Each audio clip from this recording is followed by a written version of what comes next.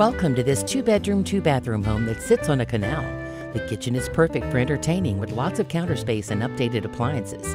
The primary bedroom offers a walk in closet, while the light and bright bathroom has a walk in shower.